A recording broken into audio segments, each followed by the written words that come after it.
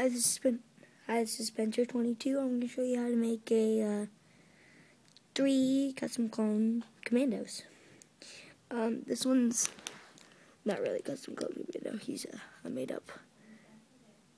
He's probably the hardest all of them. So we're going to start out with the easy commander.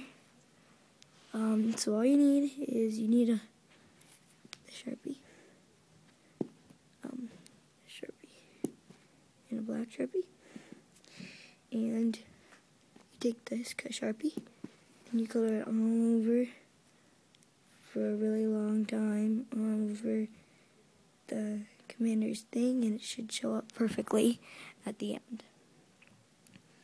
Um, and then you take a rifle, one of these, you draw stripes on him, and then the rest is kind of simple. Uh, the rest you can just do on your own. I did this kind of design on my back. I like drawing the back of the heads. Um, and then second one, I'm going to start with the complicated one. So this one's not as too complicated. You just have to draw stripes right there. Same thing like that. Except I used a skinny sharpie for this one. And then I made this one, the thing fatter. Um, red, fat red marker.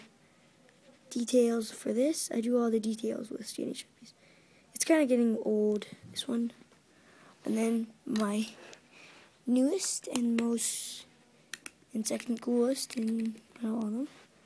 My rookie. One second, sorry.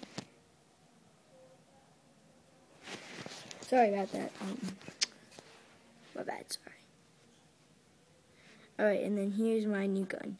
So he's just a bunch of colored in black. I did him a couple minutes ago. And um, then same thing with the commander. And then I used a regular gun. Uh, remember, this is an update number three from third, fourth, sixth uh, video. Uh, two of them were terrible. You know the one with 17 views and 5 views that not a lot of people like? It's mine. um, except I had a different username that. Um, thank you for watching. My name is Spencer22. Um, update number 4.